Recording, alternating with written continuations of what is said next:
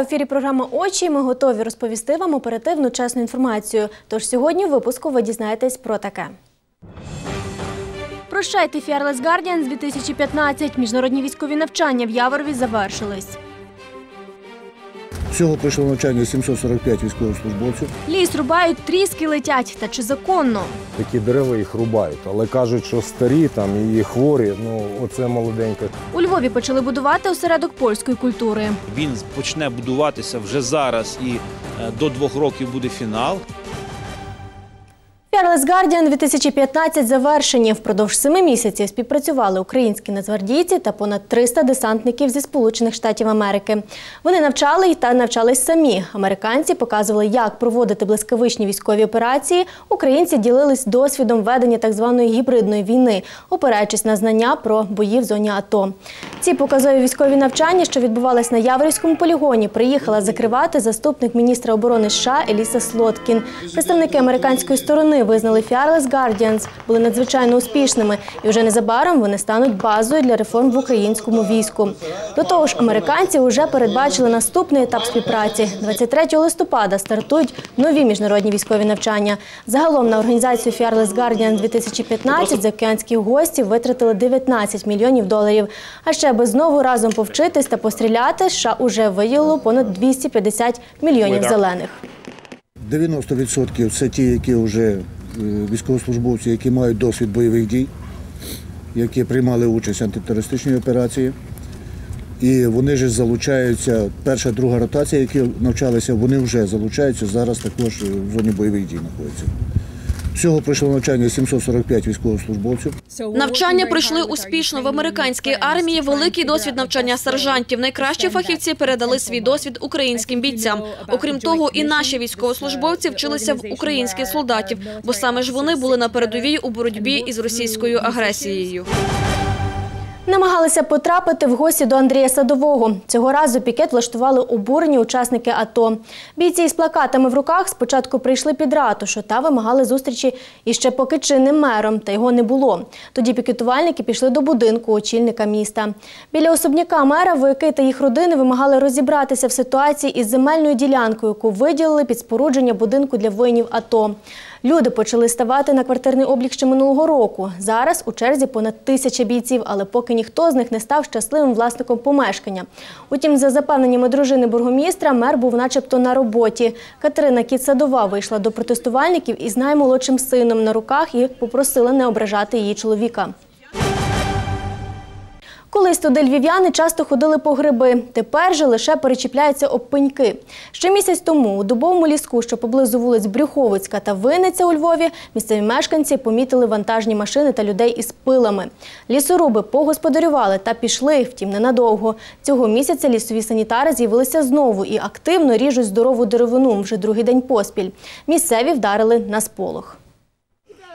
Дача пана Юрія якраз за декілька метрів від лісу. Тут чоловік буває нечасто. Та щоразу приїжджаючи, помічає. Ліс рідіє, а кількість пеньків збільшується. Зникають в більшості молоді дерева. Такі дерева їх рубають, але кажуть, що старі там і хворі. Ну оце молоденьке, що воно хворе якесь, чи комусь якось заважало. Це може хтось ну під будівлю собі робить місце, і там незабаром ну, з'явиться якийсь новий будинок. Такі повні добів машини виїжджають з лісу по декілька разів на день. З вікна свого будинку пані Наталія уже два дні спостерігає, як валять рідні їй креслані. На протязі останніх двох місяців. Перший раз вони приїхали, ми визивали поліцію і говорили з ним. Вони нам показали документ, е, що вони є дозвіл на вирубку на санітарну вирубку лісу. Та лісівники дозвіл мають лише на словах. Письмовим погодженням на вирізку дерев не похизувалися. Мовляв, при собі не мають. Будь ласка, тут валка лісу. Може щось в дерева будуть валитися зараз, будуть падати. Будь ласка. А у вас є Покиньте документи територію, на є дозвіл? документи. Ну, Покажіть, будь ласка, дайте ознайомитися. На лісництво. У Брюховицькому лісництві заспокоюють. У лісі виконують планову прохідну вирубку. Забирають ті дуби, які заважають повноцінно розвиватися сусіднім. З ділянки планують вивезти більше 100 кубометрів деревини. Перелік територій, на яких мають проводитися будь-які господарські роботи, надає лісовпорядна експедиція. А от лісорубний квиток, який дозволяє дозволяє вчиняти вирубку, як з'ясувалося, на підприємстві виписують собі самі. Лісорубний квиток виписуємо ми, як постійний лісокористувач. Так? Цю ділянку е, е, призначено такий вид рубки е, Львівською лісопорядною експедицією, тобто іншою організацією. Ми самі собі не плануємо, де ми маємо то робити. Чи справді саме такий вид вирубки призначали? Та й чи взагалі доручали брюховицьким лісівникам цього року нищити молоді дуби? З такими запитаннями ми надіслали інформаційний запит у Державну екологічну інспекцію і чекаємо на відповідь, чи прорідіє Брюховицький ліс на 337 дерев. А саме стільки за планом мають зрізати. Скільки ж залишиться насправді пнів? І ми, і місцеві мешканці порахуємо. Ірина Мочульська, Тетяна Діяк, Назар Мельник. Програма «Очі» на Львів. ТБ. Вітчизняний омивач скла. Таку новинку презентували на Львівщині. Колишній спиртзавод у селі Воютич переобладнали. Тепер тут виготовляють косметику для авто. Така пропозиція зацікавила не лише автомобілістів, а й місцевих мешканців, адже вони отримали додаткові робочі місця. В новому цеху в декілька змін працюють 39 робітників. Зарплата у них від 3 до 4 тисяч гривень. Пан Павло за такі гроші мусить перевірити майже 4 тисячі пляшок за 8 годин. Каністри з готовим продуктом, перевіряємо етикетки, дати, чи не тече. Політуємо, відправляємо. Ця лінія забезпечила нові робочі місця, а ще створено унікальний національний продукт. Мешканці ж Воютича, що на Самбірщині, після восьми місяців перерви отримали умріяну та й високооплачувану роботу. Тепер на заводі працюють майже 160 працівників. Прийнято 39 нових людей, тобто збільшено чисельність людей. По-друге, це є сьогодні реальний приклад імпортозаміщення, тому що до цього часу вся рідина, навіть під українськими брендами, вона виготовлялася за кордоном. На досягнутому тут зупинятись не збираються. В планах з наступного року оновити ще один цех. Перспектива є для нас, для цього підприємства, щоб розвиватися.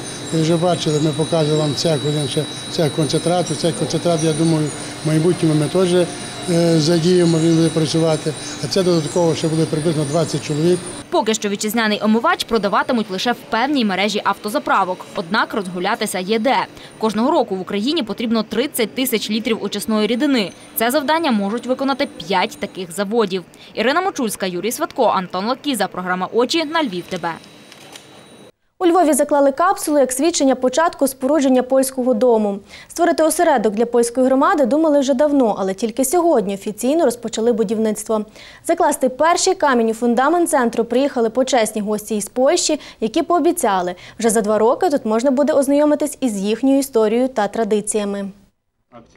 Проводити свята, організовувати урочисті зустрічі або просто ділитися надбаннями своєї культури. Сусіди поляки тепер зможуть у власному центрі. Про свій куточок у Львові громада мріяла давно. Напевно, не вистачало, тому що школи, дві школи, які у Львові мають невеличкі зали. Будемо вдячні, що зможемо тут проводити свої зустрічі, заходи з приводу різних свят і різних урочистостей.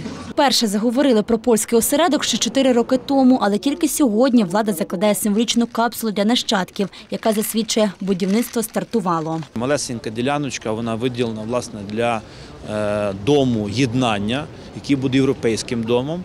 Я переконаний, що він почне будуватися вже зараз. Громадські організації, е, не знаю, центри думання, творчості. Що придумаємо, то і буде. Створювати центр культури поляки будуть за власні кошти, поки будівництво лише розпочали. А от коли завершать, ще точно не знають. То зробимо зробимо це якнайшвидше, аби цей проект був домом Львова, щоб була гарніша ця територія, і щоб усі мешканці Львова могли ним користуватися. Сподіваюсь, що за два роки це буде те місце, на яке чекало так багато поляків Львова та області. З іншої сторони, на яке чекали поляки у всьому світі. Тут будуть відбуватися ділові переговори та семінари. Осередок стане офіційним місцем зустрічі громади з політиками та культурними діячами Польщі. Побудують центр на території колишньої військової частини на вулиці Шевченка, 3А. Олена Ровенчук, Назар Мельник, програма «Очі на Львів. ТБ». Події, які варті вашої уваги, вже на нашому сайті. Його адресу бачите на екрані. А програму «Очі» дивіться уже в понеділок о 20.00.